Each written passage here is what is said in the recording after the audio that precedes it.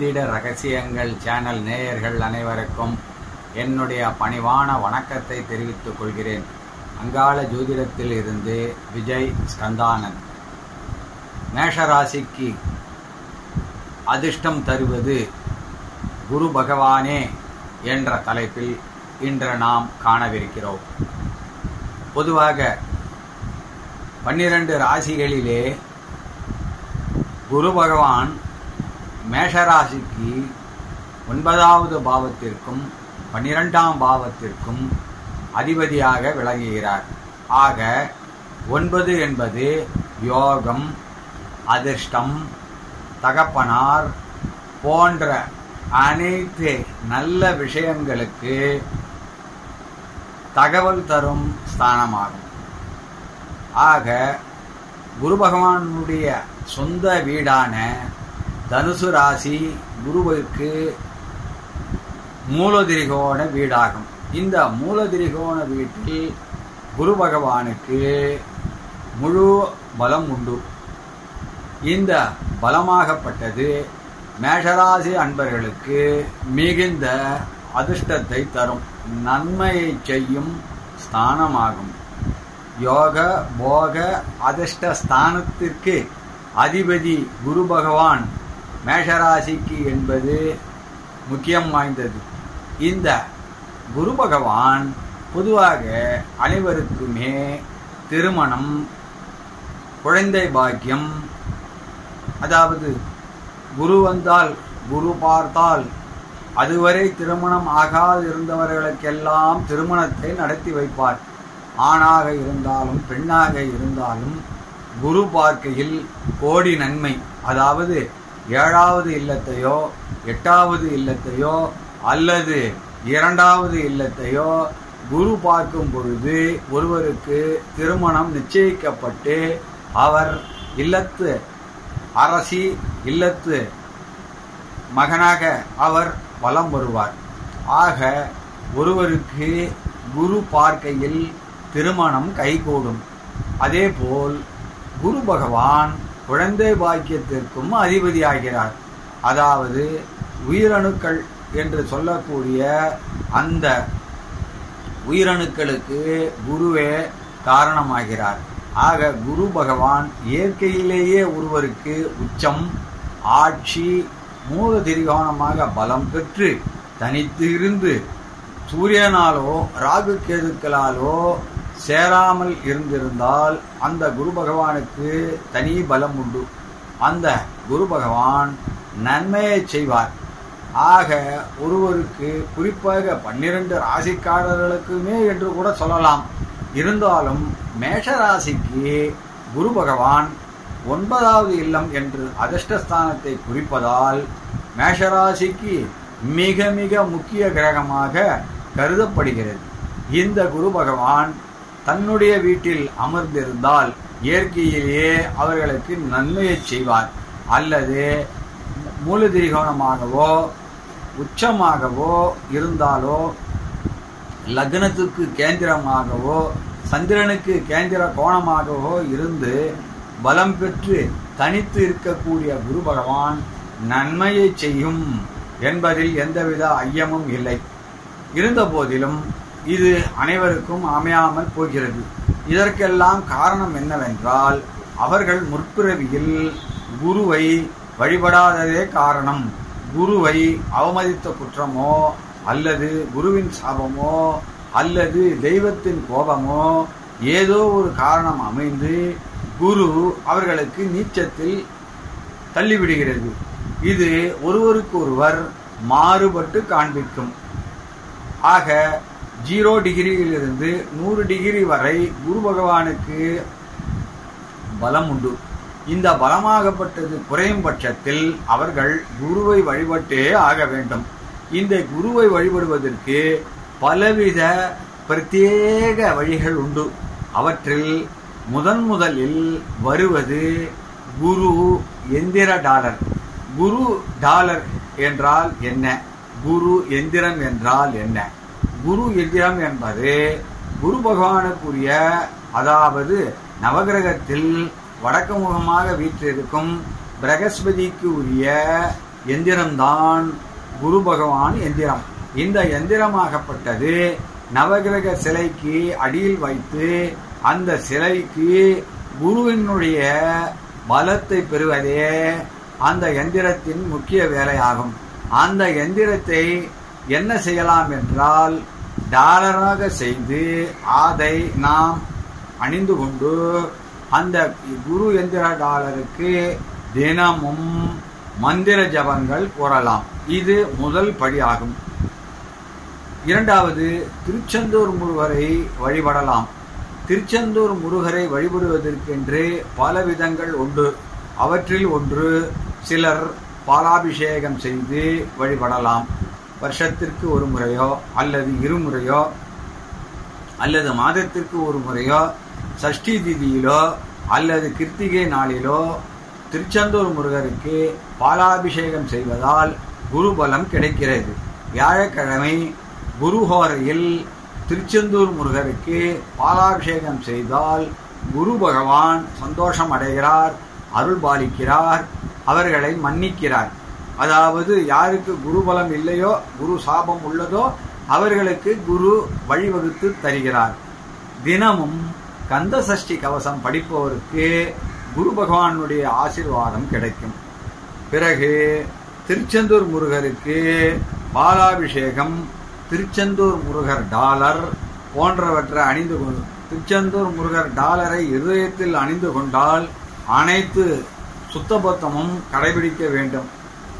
நேமனிஷ்டங்களை கடைபிடிக்க வேண்டும். அனைத்து இடங்களுக்கும் திடீரென்று சென்றுவிடக்கூடாது. தீட்டுகள் தீட்டுக்கள் அதற்கு உண்டு. ஆக திருச்செந்தூர் முருகரை டாலராக வைத்து வழிபட்டால் குறிப்பிட்ட நேரங்களிலோ அல்லது சுவாமி பிரார்த்தனை நேரத்திலோ கழுத்தில் மாட்டிக்கொள்ளலாம் அனைத்து நேரத்திலும் கழுத்தில் ஒரு தெய்வத்தை அணிந்து கொண்டு நீச்ச பாஷையோ நீச்ச உணவையோ அல்லது வேறு ஏதாவது தெய்வத்துக்கு ஒவ்வாத எந்த செயலையும் செய்யக்கூடாது என்பது போன்றவை இருக்கிறது. மேலும் பிரகஸ்பதி எந்திர டாலர். பிரகஸ்பதி எந்திர டாலர் என்பது நவகிரகத்துக்குரிய நவகிரகத்தில் வீற்றிருக்கும் குரு பகவானுக்குரிய டாலர். இந்த குரு பகவான் எந்திர டாலர் என்ன செய்யும் என்றால் ஒருவர் நான் இதை பிடித்து கொண்டிருப்பது போல பிடித்து கொண்டு கழுத்திலே அணிந்து கொண்டு இந்த டாலரை கையில் பிடித்து கொண்டு குரு பகவானை வடக்கு முகமாக பார்த்து உட்கார்ந்து குருவினுடைய மந்திரங்களான தேவானாம் ரிஷி நாம்ச குரும் காஞ்சன சந்நிபம் புத்திபூதம் திரிலோகேசம் தம் நமாமி பிரகஸ்பதிம் இந்த மந்திரத்தை கூறி வரலாம். இந்த மந்திரத்தை கூறுவதற்கு நூற்றி எட்டு தினமும் கூறலாம். காலை நூற்றி எட்டு இரவு நூற்றி எட்டு முடிந்தவர்கள் இருநூத்தி பதினாறு முறை கூறுங்கள். முடியாதவர்கள் நூற்றி எட்டு முறையாவது கூறுங்கள். குருவனுடைய காயத்ரி. ஓம் ரிஷபத்வஜாய வித்மகே குருணியஸ்தாய தீமகி. தன்னோ குரு பிரச்சோதயாத். இந்த குரு காயத்ரி மந்திரத்தை இந்த டாலரை கழுத்திலே அணிந்து கொண்டு கையிலே இவ்வாறு பிடித்து கொண்டு குருவனுடைய ஆள்காட்டி விரல் அதாவது குருமேட்டிலிருந்து வரக்கூடிய ஆள்காட்டி விரல் இதை பற்றி கொண்டு அவர்கள் இம்மந்திரத்தை கூற வேண்டும். அல்லது நான் இன்னும் கூடுதலாக மந்திரம் ஜபம் செய்கிறேன் என்பவர்களுக்கு நான் ஒரு பீஜ மந்திரத்தை கூறுகிறேன். மூல மந்திரமும் சொல்லலாம் தவறில்லை. பீஜ மந்திரம் என்பது ஓம் கிராம் கிரீம் குரூம் சா குருவே நமக. இந்த மந்திரத்தை நாற்பத்தெட்டு நாட்களில் பதினாறாயிரம் முறை உருவேற்றி இந்த எந்திர டாலரை இவ்வாறு பிடித்துக்கொண்டு வடக்கு முகமாக உட்கார்ந்து இம்மந்திரத்தை கூறலாம் இந்த குரு எந்திர டாலர் என்ன செய்யும் என்றால் கழுத்திலே இருதயத்திலே பட்டு கொண்டு இருக்கின்ற பொழுது குரு பகவானுடைய கதிர்வீச்சுக்களை இந்த எந்திரத்திலே பதிய செய்து அந்த டாலரை அணிந்து கொண்டு இருப்பவருக்கு பதிய செய்கிறது. நாளொரு வேணி பொழுதொரு உண்ணமாக நூற்றி எட்டு நூற்றி எட்டு நூற்றி எட்டு என்று சொல்லலாம் அல்லது ஐநூற்றி நாற்பது ஆயிரத்தி எட்டு என்று உருவேற்றலாம். இவ்வாறு இப்பீஜ மந்திரம் காயத்ரி மந்திரமோ அல்லது ஸ்தோத்திரமோ குரு ஸ்தோத்திரமோ இதை இந்த எந்திர டாலரை வைத்துக்கொண்டு கூற வேண்டும். இந்த எந்திர டாலரில் பின்பக்கம் ஓம் என்று அக்ஷரம் உள்ளது. அதை அந்த ஓம் என்ற அக்ஷரம் இருதயத்திலே படும்படி வைத்துக்கொண்டு குருவனுடைய எந்திரம் வெளியே பார்க்கும்படி அவர்கள் இந்த எந்திர டாலரை அணிய வேண்டும். இது வெள்ளியிலான டாலர். இதை வசதி உள்ளவர்கள் தங்கத்தில் செய்து கொள்ளலாம். மற்றவர்கள் இந்த வெள்ளியிலான டாலரை அணிந்து கொள்ளலாம். இதை நன்றாக பார்த்து கொள்ளுங்கள். இந்த எந்திர டாலர் முதல் முதலில் ஒருவர் வழிபடுவதற்கென்று பிரத்யேகமாக உள்ளது. பிறகு அவர்கள் தாயத்தாகவும் அணிந்து கொள்ளலாம் குரு எந்திர டாலரை. பிறகு குரு பிரகஸ்பதிக்கு உரிய மந்திரம். இந்த மந்திரம் ஏற்கனவே நான் கூறியுள்ளேன். தேவானாம்ச ரிஷீனாம்ச குரு காஞ்சன சந்நிபம் புத்திபூதம் திரிலோகேசம் தம்னமாமி பிரகஸ்பதி இந்த மந்திரத்தை தினமும் கூறி வர வேண்டும் நூத்தி எட்டு முறை. பிறகு குரு பகவானுக்குரிய அதாவது பிரகஸ்பதிக்குரிய ரத்தின கற்களை அணிய வேண்டும். ரத்தின கற்கள் விலை குறைவிலும் இருக்கிறது விலை அதிகமாகவும் இருக்கிறது. வசதிக்கு ஏற்ப அவரவர்களுடைய நிலைக்கு ஏற்ப தங்கத்திலே வெள்ளியிலே கட்டி அணிந்து கொள்ளலாம். அவ்வாறு அணிந்து கொண்டால் குரு பிரகஸ்பதியினுடைய முழு பலத்தையும் அவர்கள் பெற்று விடுவார்கள். இந்த எந்திர டாலர் ரத்தின கற்கள் அவர்கள் அணிவது உச்சிதம். பிரகஸ்பதிக்குரிய மை வசிய மை. அதாவது குரு பகவானுக்கு ஓமம் செய்து அந்த ஓமத்தில் இருந்து கிடைக்கக்கூடிய ரட்சையிலிருந்து வரக்கூடிய மையை வைத்துக்கொண்டு உருவேற்றி தினமும் இதை அவர்கள் ஜபம் செய்து வந்தார்களே. ஆனால் அந்த எந்திரம் அனைத்து மனிதர்களுடைய மந்திர சொற்களாகப்பட்டது அவர்களை குருவை வசியம் செய்து அந்த குருவுக்குரிய பலம் அவர்களுக்கு செயற்கையாக இவர்களால் தூண்டப்பட்டு கிடைக்கப்பெறும். இயற்கையில் இல்லாதவர்களுக்காக நான் இந்த இதை சொல்கிறேன். பிரகஸ்பதிக்குரிய நெய் விளக்கு குரு பகவானுக்கு நவகிரக குரு பகவானுக்கு நெய் விளக்கு ஏற்றுவது சால சிறந்தது. அவர்களுக்கு எண்ணெயில் ஏற்றக்கூடாது. குருவிற்கு நெய் விளக்கு. முருகக் கடவுளுக்கும் நெய் விளக்கு தான் சிறந்தது. ஆக நெய் விளக்கு ஏற்ற வேண்டும். அதோடு ஏற்றும் இல்லாமல் குரு அஷ்டோத்திரம். குரு அஷ்டோத்திரம் என்பது நூற்றி எட்டு பெயர்கள் குரு பகவானுக்கு. அந்த அஷ்டோத்திரம் கூறலாம். குருவிற்கு ஹோமம் செய்யலாம் யாகம் செய்யலாம் அவரவர்கள் வசதிக்கேற்ப செய்யலாம். மூன்று பேரை வை இரண்டு பேரை வைத்து செய்யக்கூடியது ஹோமம் மூன்று பேரை வைத்து செய்யக்கூடிய ஓமம் இதையே வசதி படைத்தவர்கள் நூற்றி எட்டு. பேர்களை வைத்துக்கொண்டு இருபத்தேழு யாக குண்டங்கள் என்று மிகவும் விசேஷமாக பிரகஸ்பதியினுடைய கோயில்களில் இதை செய்யலாம். அது மிகவும் விசேஷம். வசதி படைத்தவர்களுக்கும் நிறைந்த லாபத்தை தரும். அந்த மண்ணிற்கும் லாபத்தை தரும். அந்த நாட்டை ஆள்பவருக்கும் நன்மையை செய்யக்கூடிய இந்த ஓமமாகப்பட்டது யாகமாகப்பட்டது குருவினுடைய ஆசிர்வாதத்தை பெற்றுத்தரும்.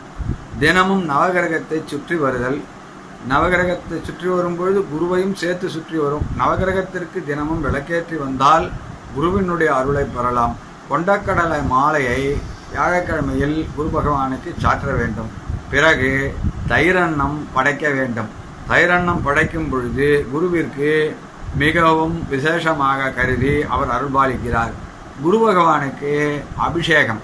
பொதுவாக நவகிரக அபிஷேகம் அதில் குரு பகவானுக்கு விசேஷ அபிஷேகம் செய்து வஸ்திரம் சாற்றி வழிபட்டால் மிகுந்த நன்மையை தரும். மாதத்திற்கு ஒரு முறை அர்ச்சனையும் வருஷத்துக்கு ஒரு முறை அபிஷேகமும் நவகிரகத்திற்கு அனைவரும் செய்ய வேண்டும். இதில் பாகுபாடே கிடையாது. நானாக இருந்தாலும் அல்லது நீங்களாக இருந்தாலும் நவகிரகத்தை நம்புவோர் அனைவரும் வருஷத்துக்கு ஒரு முறை நவகிரக அபிஷேகம் அவசியம் செய்ய வேண்டும்.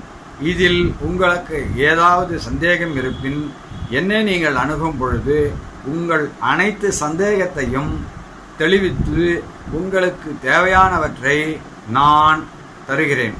ஆக அனைத்து குரு சம்பந்தப்பட்ட விஷயங்களை இன்றே தொடங்கி உங்கள் வாழ்வில் சந்தோஷத்தையும் மகிழ்ச்சியையும் பெற்று இன்புற்று வாழ எல்லாம் வல்ல. குரு பகவானை பிரார்த்தித்து தங்களிடம் இருந்து விடைபெறுவது விஜய் ஸ்கந்தானந்த் அங்காள ஜோதிடம். நன்றி வணக்கம்.